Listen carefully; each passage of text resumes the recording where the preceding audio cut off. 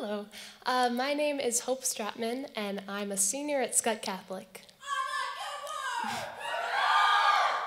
and this poem is titled Breathing.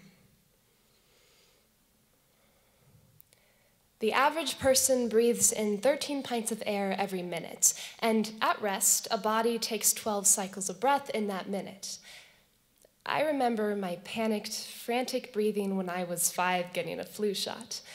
I sucked air in and pushed it back out like a cornered asthmatic.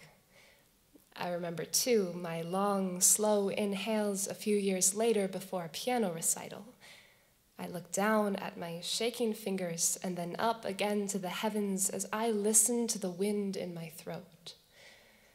Breathing is one of the only autonomous systems of the body that we can also control.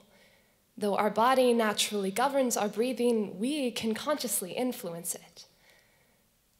Even now, when I am 17, with my forehead pressed against the wall of a dark, empty classroom, I slam my eyes shut, let my mouth drop open, place a hand near my lungs, and focus on that last thing to be still in my control. I have been taught in through the nose and out through the mouth, but with every breath, I am reminded how fragile respiration is. On the blackest days, I remember that breathing is a choice after the average person has been deprived of oxygen for approximately 60 seconds, their brain cells begin dying.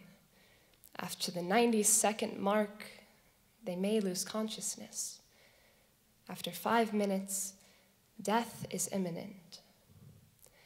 I have never tried to take my own life, but I have taken the surveys in the therapist's office that carefully ask about my intentions towards my wrists. I have, on the last day of seventh grade, taken a look around the empty lockers and desk scrubbed clean, wondering if I could make it through the summer to be alive for the eighth grade.